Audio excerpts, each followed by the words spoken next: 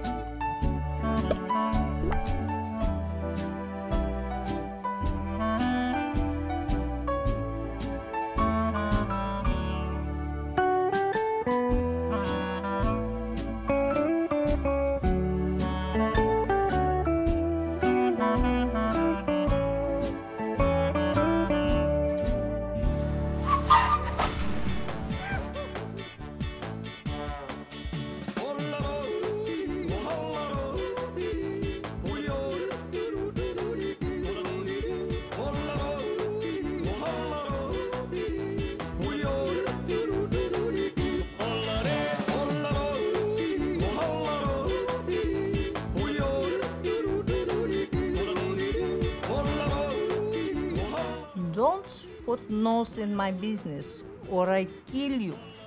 You think I joke?